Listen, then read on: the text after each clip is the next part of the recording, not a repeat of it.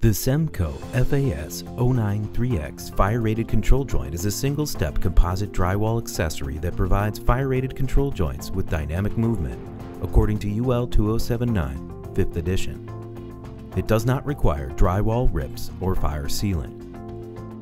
The factory-applied intumescent tape provides the fire rating. Orange peel-away tape allows the control joint to stay clean while the joint compound is applied and the orange color is used as an indicator to inform the inspector that the control joint is fire rated.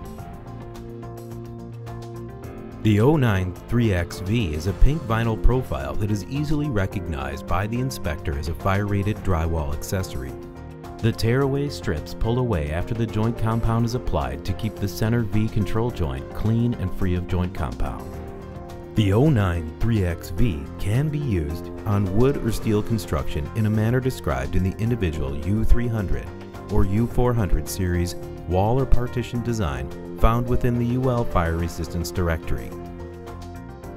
For more information, visit cemcosteel.com.